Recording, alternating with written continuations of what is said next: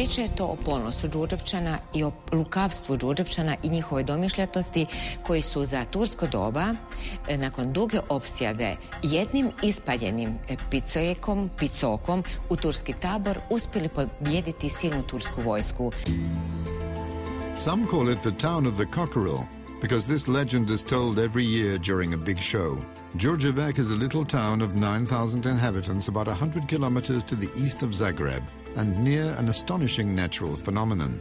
Huge banks of sand make up what they call the Croatian Sahara, a natural paradise where you can find plants unique in Europe. One of the great advantages of Đurđevac is the ability to preserve its traditions and its folklore.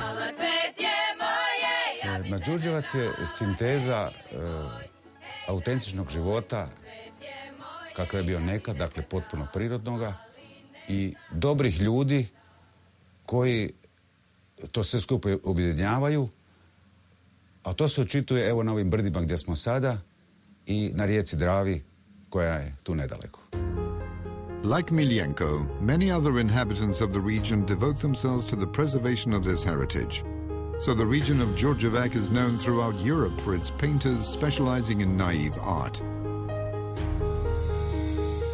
They paint the landscapes of the region or the famous cockerel on plates of glass.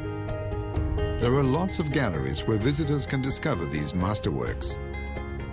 Other artists are busy representing the cockerel in all its forms.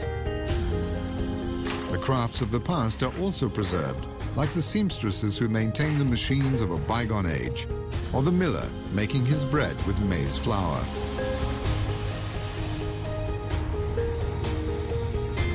Alongside these traditions flows the river Drava, one of the cleanest in Europe, offering an ideal setting for walks and bike rides.